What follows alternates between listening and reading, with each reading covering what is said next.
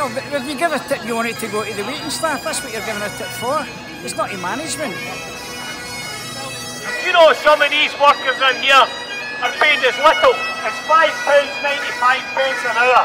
It's low pay, it's a disgrace. Hi, I'm Matt Kerr, um, I'm Councillor in Glasgow City Council. I'm delighted to come down here and offer my support uh, for the Fair Tips uh, campaign. I think it's right that workers uh, get to keep the tips that they've uh, worked hard to earn. Um, workers in the TGIs, TGIs is taking 40% of the tips that you leave as a customer for the person that serves you and using it to subsidise the poor wages that they pay their workers. I'm here today because people deserve all of their tips. You've earned a tip, 40% of that should not be going to your boss. It should be going towards topping up people's wages that are poor.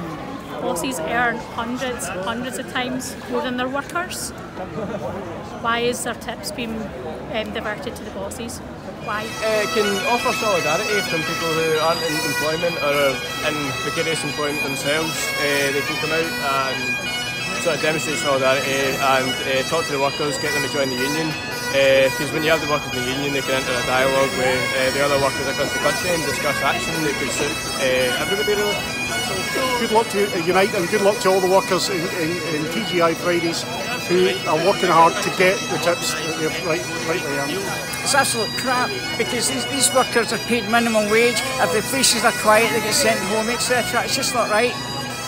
The workers